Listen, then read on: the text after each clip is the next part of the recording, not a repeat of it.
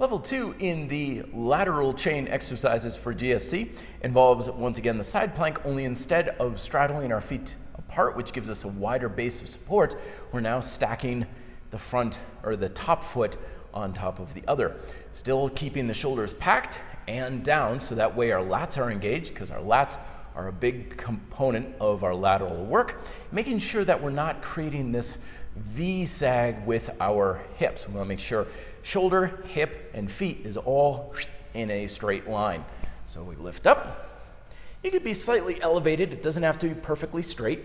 Slightly elevated is fine, especially if that helps you to engage all the muscles in the side of your body.